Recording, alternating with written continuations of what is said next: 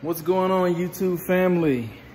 Um, real quick, I thought this would be a good video. Um, yeah, I got my headlight on. Uh, we have good good lighting in the shop. Well, obviously that one is out. I gotta get that replaced.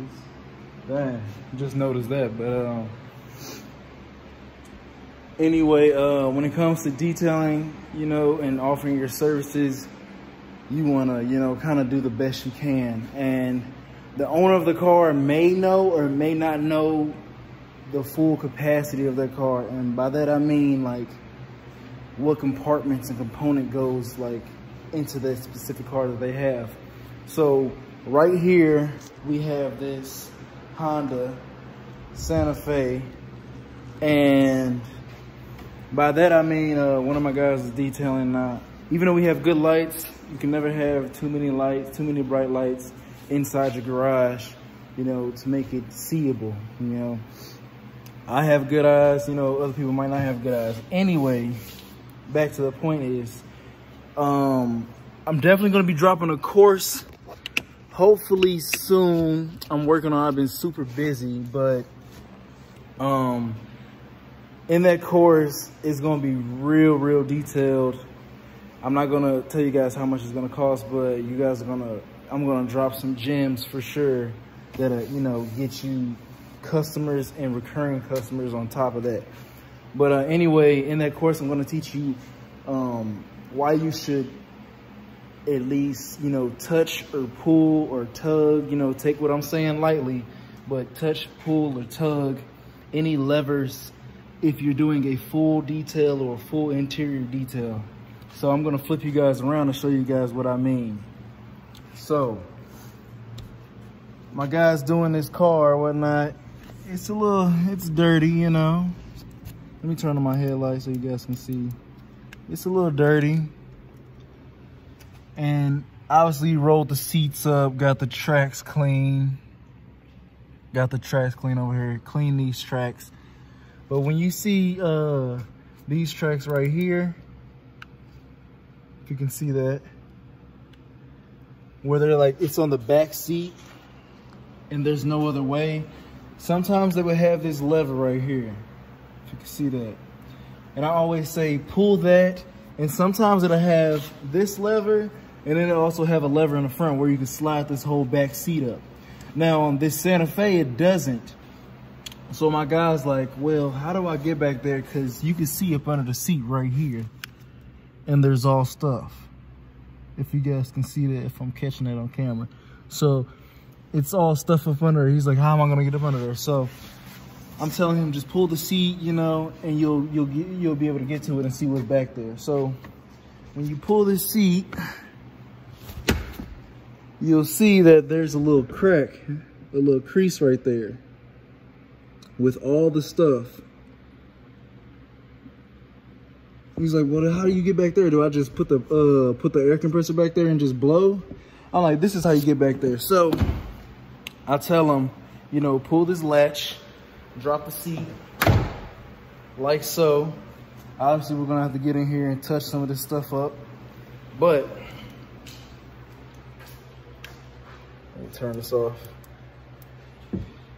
Um, so I was like, you pull up these compartments. Now when you're doing a full detail, you could probably charge a little more for going back here. Like obviously the trunk is in it in the full detail, but you can charge more if you want to lift up this part right here, get up under, you know, kind of clean it, clean out this little gutter system.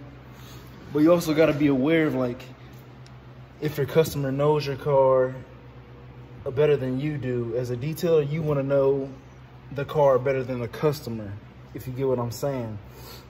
Obviously, you're not gonna experience every car or get every car style in your shop or in your mobile business, but when you get a quote, when you put somebody a quote and then you um you give somebody a quote, I mean, and you have never done that car before, I would suggest going to go Google the car and, you know, see what kind of specs are in the car.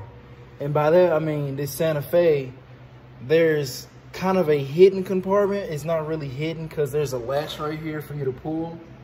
But when you pull this latch, it, it opens up to a bigger gutter. So you have a bigger storage unit. But my guy has a problem getting behind this seat. This storage unit comes out. Now your car owner might not even know they have that back there or you know, know that they have that, but they don't know that that gutter system comes out itself. So all you gotta do is just pull it out. Try to do this one hand.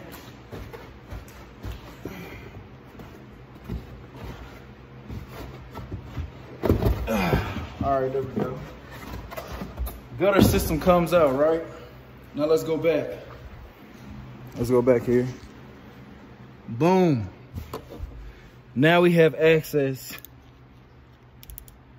to behind the seat. Yep. And now we have all this this dirt to clean up. See all that? Wood, everything. I'm not sure how this got up under the gutter system, but or the storage compartment, whatever you want to call it. I'm not sure how all this debris got back here. But now we have access to up under the seat without it being able to move forward. So just wanted to drop that quick gem on you guys.